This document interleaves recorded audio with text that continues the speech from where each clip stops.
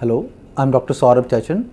I'm uh, Associate Consultant in Department of Orthopedics and Spine Surgery at Narayana Hospital, Sector 24, Gurgaon आज हम बात करेंगे back pain के उस कारण की जिस पे बहुत कम लोगों का ध्यान जाता है 95 परसेंट ऑफ़ टाइम जब बैक पेन होता है सभी को लगता है डिस्क की प्रॉब्लम है बट काफ़ी केसेस में डिस्क की प्रॉब्लम ना होकर फसेट जॉइंट्स की प्रॉब्लम होती है फसेट जॉइंट्स हमारी रीढ़ की दो हड्डियों के बीच में छोटे छोटे जॉइंट्स होते हैं, जो बिल्कुल पीछे होते हैं और डिस्क से अलग काम करते हैं।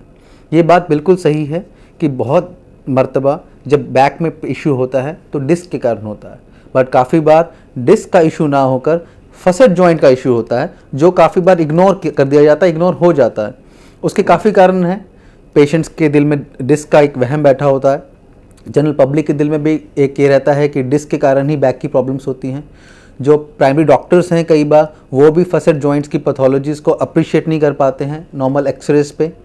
एंड डेफिनेटली डिस्क एक ऐसी चीज़ है जो बहुत ईजिली अप्रिशिएट हो जाती है एक्सरेज पे या एम आर पे तो फसेट जॉइंट्स की तरफ़ ध्यान नहीं जाता।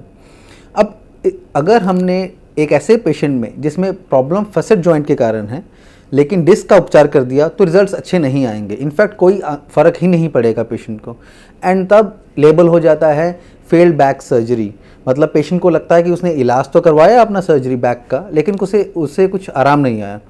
एंड यही एक काफ़ी कॉमन कारण है कि एक ऐसा डर सा बैठ गया है कि स्पाइन की चीज़ें ठीक नहीं होती है।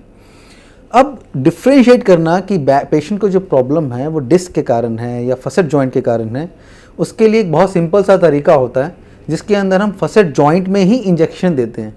हम पेशेंट को लोकल एनेस्थीसिया में under C arm X ray की सहायता से जॉइंट के अंदर जाके इंजेक्शन देते हैं स्टीरोइड का और लोकल एनेस्थेटिक का।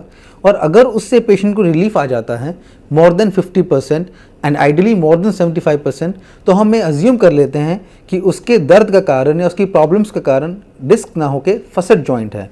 एंड देन उपचार डिस्क पे फोकस ना करके हम फसेट जॉइंट पे फोकस करते हैं और उसके रिजल्ट्स अमेजिंगली अच्छे आते हैं। और हम ये सब तकनीकें यूज़ कर रहे हैं नारायणा हॉस्पिटल में अपने पेशेंट्स की पहले डायग्नोसिस करने में, पूरा टेक्नोलॉजी का यूज़ करते हैं ताकि पेशेंट का सही से बीमारी का पता चल सके और बीमारी पता चलने के बाद ही हम इलाज की शुरुआत करते हैं ताकि कोई भी मिस मैनेजमेंट से बचा जा सके।